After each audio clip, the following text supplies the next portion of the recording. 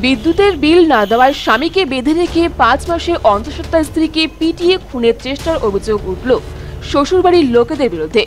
এমনকি শীতের রাতে রাস্তায় জখম ওই গৃহবধূকে ফেলে রাখে শ্বশুরবাড়ির লোকেরা। এমনটাই অভিযোগ। রবিবার গভীর রাতে ঘটনাটি ঘটেছে মোথাবাড়ি থানার চামাপ্রতাপপুর এলাকায়। গভীর রাতে গৃহবধূর কান্নার শব্দ শুনে আশপাশের লোকজন ছুটে আসেন।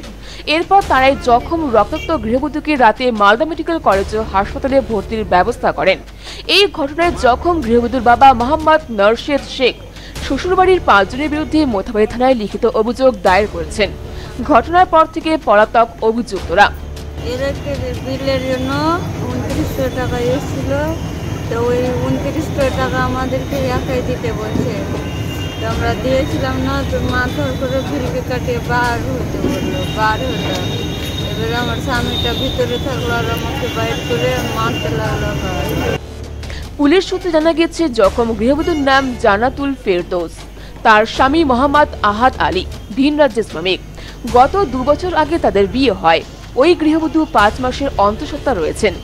রবিবার গভীর রাতে তাকে লোহার রড দিয়ে পিটিয়ে খুনের চেষ্টার অভিযোগ উঠেছে শ্বশুরবাড়ির লোকেদের বিরুদ্ধে। জখম গৃহবধূ পুলিশকে অভিযোগ করে বলেন ঠিক নিয়ে মেরেছে জুতো নিয়ে মেরেছে ইট চালিয়ে আপনি আপনি কি ডেলিভারি আছেন? পাঁচ মাস কি করেছে? আপনাকে কীভাবে মারধর করেছে? কামড় লাত মেরেছে ফাঁকা ভাগ পেটে লাত মারছে আর কজন মেলে মেরেছে?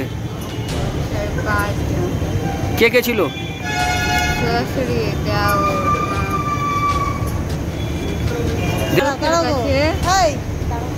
গ্রামের লোকের কাছে। উঠে গেলাম তাড়াতাড়ি। যে এবার বললাম তখন ওরা বলল আগে ভোটের ব্যবস্থা মোথাবাড়ি হসপিটালে ছিল।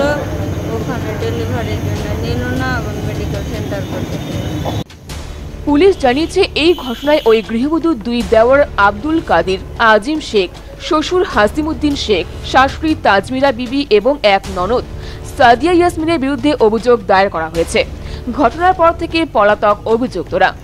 এদিকে মেডিকেল কলেজের কর্তব্যরত চিকিৎসকেরা জানিয়েছেন, ওই গৃহবধূর শরীরে বিভিন্ন জায়গায় ভারী বস্তু দিয়ে আঘাত করা হয়েছে।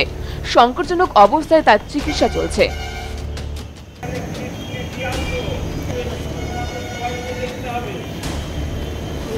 পাতা আছে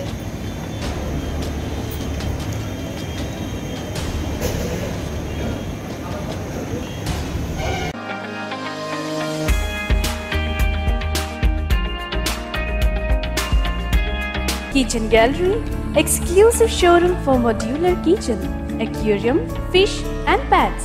Glass Corner, MG Road, Jaigaon.